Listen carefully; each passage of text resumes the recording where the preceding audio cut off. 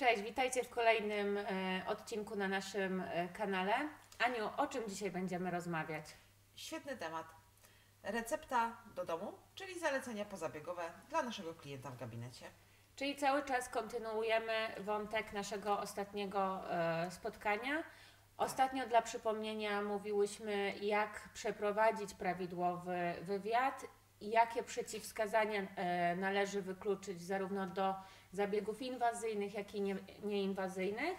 A dzisiaj porozmawiamy o zaleceniach e, Do domu. pozabiegowych. Tak, Dokładnie. Do domu.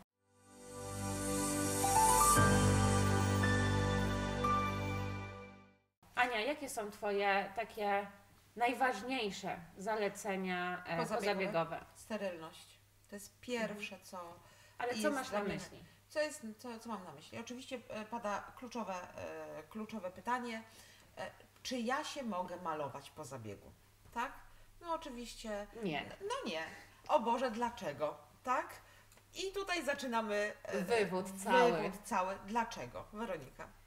Przede wszystkim e, wszelkiego rodzaju podkłady, pudry mogą zaczopować nam e, te mikroranki, które zrobiłyśmy, Dokładnie. mm, jeżeli mówimy o zabiegach inwazyjnych oczywiście. Natomiast jeżeli e, klientka bardzo się upiera po zabiegu z kosmetyki białej, że jednak ona musi się umalować, e, no tutaj nie ma przeciwwskazania bezwzględnego, natomiast ja zawsze mówię, że w takim razie trochę szkoda e, pieniędzy, które pani. Efektu. E, tak, efektu, ale też i pieniędzy, bo myślę, Tak. że e, w dzisiejszych czasach e, ten argument przemawia do klientów. E, Bardzo. No, tak, zdecydowanie najbardziej. Mhm. Czyli sterylność, czyli panie nie mogą się e, malować. Tak. Co w tej sterylności jest dla ciebie jeszcze, Aniu, ważne? Oczywiście co poruszałyśmy w poprzednim odcinku, to to, e, w jakich warunkach przebywamy po zabiegu. Co mam na myśli? No chociażby właśnie te zwierzęta. Czy zwierzęta są w domu? Mhm. Czy do zwierzaka możemy się przytulić? E, czy zwierzak może nas polizać na przykład? No to absolutnie znowu odpowiadamy. Że nie. No nie. I właśnie dlaczego? Dlaczego? Przede wszystkim znowu sierść zwierząt Dokładnie. może zainfekować e, rany. E, tutaj e, oprócz zwierząt e, bardzo ważna kwestia to też są małe dzieci. E, Szczególnie przy peelingach chemicznych zwracamy na to tak, uwagę, przy prawda? peelingach chemicznych, ale tak naprawdę przy wszelkiego rodzaju zabiegach inwazyjnych, umówmy Tak. się. Tak. E, bardzo ważne jest, żeby dziecko nie dotykało nas po buzi, nie Tak. gładziło. E, dlaczego? Wiadomo, e, rączki dzieci są wszędobylskie Tak. e, i tak naprawdę nie wiemy, co dany dzieciaczek na tych łapkach przenosi. Co jeszcze, Weronika? No, w, A pościel? Pościel, no tak, zdecydowanie. No jeżeli robimy zabiegi z przerwaniem ciągłości naskórka, no to bardzo dużo też się Pan dziwi. Pościel, dlaczego? No i, i tutaj, prawda, jest kwestia znowu czystości, tego, że my śpimy, pocimy się, prawda? Tak. Tam wszystko zostaje. Produkty przemiany materii, Dokładnie. I tutaj resztki makijażu, jeżeli zdarzyło nam się zasnąć ze zmęczenia na przykład. bardzo często. i nie zmyć makijażu. E, Tak. Ale też bardzo często panie pytają, e, ale to jak długo Tak, nie mogę dotykać psa, kota, bawić się z własnym dzieckiem, tak. codziennie wymieniać tą pościel. tak No i jaka tak. jest Twoja recepta? Wiesz co, ja zawsze mówię, te 2-3 dni to jest taka kadencja, e, to jest minimalna taka kadencja, tak? Natomiast no, już nie przesadzajmy, no wracamy do, e, wracamy potem do normalnego funkcjonowania i oczywiście to też zależy od, od taki, tak naprawdę od zabiegu, jaki wykonujemy. No nie możemy porównać zabiegu na przykład osocza bogatopłytkowego do zabiegu chociażby mikrodermabrazji, tak? E, Czy też kawitacji, więc no tutaj też zalecenia są Chociaż różne. tutaj pytanie, jak E, silna się- mik- no mikrodermabrazja właśnie, jest tak, wykonana. No dokładnie. E, ale to Ty podchodzisz zdecydowanie bardziej rygorystycznie e, Mhm. do klientów. Ja im troszeczkę bardziej pobłażam. Pobłażasz? Tak, zdecydowanie, ponieważ mówię, Mhm. że absolutnie 24 godziny nie Okej. bawimy się z e, Mhm. pieskami, kotkami, Mhm. wszelkiego rodzaju innymi zwierzakami Mhm. e, i dzieci też pilnujemy, żeby naszej buzi e, nie, Nie dotykały. dotykały. Mhm. Co o, jeszcze? kolejne pytanie, które się bardzo często zdarza, z piciem alkoholu. Co e, z alkoholem? Tak, ale jak to? Dlaczego po zabiegu no nie możemy e, pić alkoholu? Tym bardziej, że panie bardzo lubią e, ostrzykiwać się w Tak, piątek, ponieważ piątek. mają te dwa dni na, Kadencji, tak, tak. na rekonwalescencję, natomiast e, no, alkohol nam w tej rekonwalescencji nie pomaga. Dlaczego? Przede wszystkim e, dlatego, że alkohol ma zdolność do rozszerzania naczyń krwionośnych, Tak, więc jeżeli zrobimy jakiegoś siniaczka, no a umówmy się, to się może zdarzyć, to nie No jest to się powikłanie, to jest coś normalnego, e, to ten siniak może nam się bardziej rozlać i zdecydowanie dłużej utrzymywać się e, na Tak, skórze. Puchniemy. To jest kolejna e, kwestia. Ja zawsze mówię, że z, zrównoważmy, czy Tak. zamieńmy ten alkohol na e, wodę na przykład z elektrolitami. 24 godziny.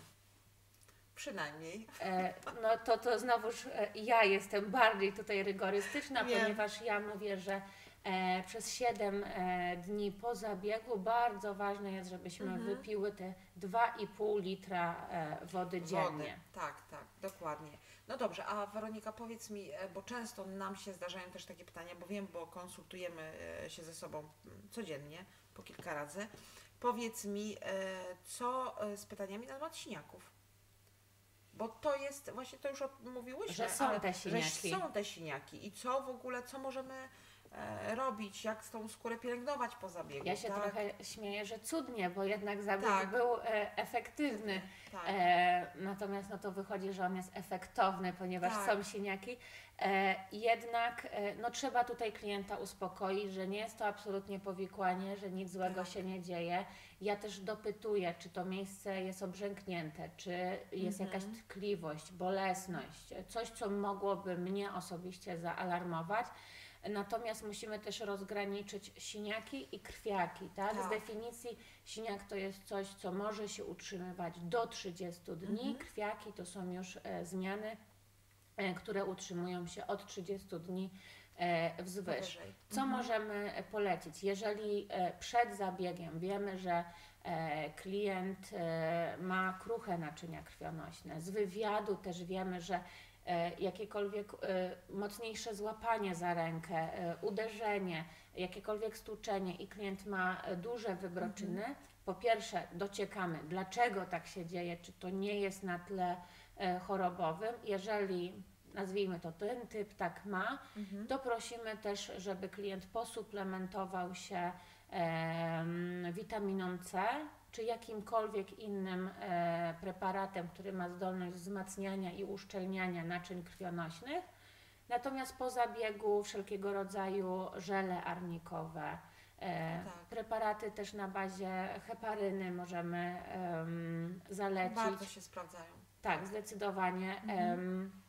Czyli wykluczyłyśmy jako zalecenie pozabiegowe, powiedziałyśmy już o sterylności, która jest myślę na pierwszym, tak, na Tak. pierwszym miejscu, o piciu wody po zabiegu, unikaniu alkoholu, Tak. e, o Siniaka, e, siniakach, które mogą się e, zdarzyć. E, sauna, solarium, basen, tak. to jest coś, czego ja kategorycznie zabra- zabraniam Ja e, w terminie tygodnia minimum Tak, e, tak. po A zabiegu. ćwiczenia? Trzy dni. Ja Trzy nie dni, pozwalam tak, tak, e, ja też. ćwiczyć też, Mhm. żeby po pierwsze nie przyspieszyć metabolizmu Mhm. e, naszego organizmu, żeby ten organizm miał czas dojść do siebie po zabiegu inwazyjnym. E, a przede wszystkim musimy pamiętać znowu, że jeżeli po zabiegu zrobiły nam się siniaki, to Mhm. wszelkiego rodzaju ćwiczenia fizyczne mogą e, poprzez przyspieszenie metabolizmu spowodować, że te siniaki nam się e, rozleją. Poza tym w trakcie ćwiczeń pocimy się. Jeżeli Dokładnie. pójdziemy zaraz zrobić po zabiegu trening, może dojść do e, nadkażenia tych e, wkłuć. I jeszcze Weronika, jedna rzecz, o której, e, o której chciałam powiedzieć, to na pewno pytania, jeżeli będzie tkliwość, jeżeli na przykład może wystąpić stan podgorączkowy, bo może, bo nie wiemy, jak taki klient e, zareaguje. Co e, taka klientka, klient może sobie wziąć e, w domu z preparatów, które będą obniżać ten stan podgorączkowy ewentualnie, tak? Ja nie jestem osobiście zwolennikiem, żeby brać e, jakiekolwiek e, leki. E, Tak. Jeżeli dzieje się coś takiego, bardzo proszę, aby klient najpierw do mnie zadzwonił. To jest najważniejsze. Tak, tak. żebyśmy miały tą możliwość porozmawiania, żebym ja też Mhm. wiedziała, co się dzieje. tak. Musimy też pamiętać, że temperatura rośnie nam e, im późniejsza jest godzina, tak. e, więc na to też troszeczkę biorę e, poprawkę. Jeżeli klient naprawdę bardzo mocno skarży się na samopoczucie, to pozwalam, aby wziął Mhm. leki na bazie paracetamolu. No właśnie, i to są takie najczęstsze chyba pytania, które padają i najczęstsze zalecenia, które my sugerujemy. Tak, aczkolwiek to uwagę. jeszcze, na co ja zwracam uwagę moim klientkom. E, po pierwsze, staram się po zabiegach e, inwazyjnych wypuścić klientkę z próbką kremu, który jest dla niej przeze mnie dobrany Mhm. do pielęgnacji e, domowej. I to spokojnie starcza na trzy, nawet, na trzy dni, nawet do tygodnia czasu. Natomiast też e, proszę, aby klient e, w przeciągu pierwszych dwóch tygodni stosował kremy pozbawione substancji zapachowych, e, pozbawionych barwników, tak żeby to była jak najbardziej naturalna Mhm. pielęgnacja i raczej żebyśmy działały może nawet nie anty-age, ale raczej żebyśmy tymi preparatami Naprawczo. działały tak, naprawczo, Mhm. regenerująco i odżywczo. E, I to, na co kiedyś Ty mi z kolei zwróciłaś e, uwagę, to są perfumy. Perfumy. Tak, Tak. zdecydowanie. To, są, to jest gdzieś tam e, moja obserwacja, jak szczególnie przy mezoterapii głowej, szyi i dekoldu. To Panie tak, perfumują się O, po 100%. całej, Tak. tak. po całej twarzy. Prosimy, żeby jednak tego nie robić. Mhm. Czy, czy coś jeszcze, Aniu, do Ja myślę, że to są absolutnie takie podstawy, które, na które warto zwrócić uwagę i myślę, że one również Wam e, troszeczkę przybliżą, e, na co zwracać uwagę klientowi w gabinecie A jeszcze naszym. jedna rzecz mi się Mhm. e, przypomniała. Co z depilacją, pastą cukrową czy woskiem w okolicy twarzy, na przykład po mezoterapii głowej? Bo No Pani się przypomniało, że za trzy dni idzie na depilację wąsika. No nie, zdecydowanie nie. Zdecydowanie. A czemu?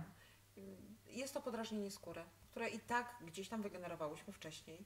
Może dojść do e, interakcji również, jeżeli jest to pasta cukrowa chociażby na przykład.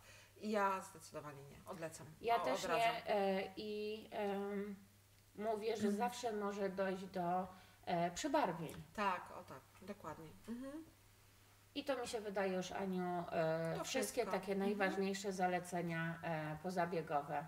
Dziękujemy Wam bardzo i zapraszamy na kolejny nasz odcinek do Medical Aesthetic. Oczywiście, jeżeli macie jakiekolwiek e, uwagi, czy o czymś zapomniałyśmy, e, dajcie znać w komentarzu. Do zobaczenia. Do zobaczenia.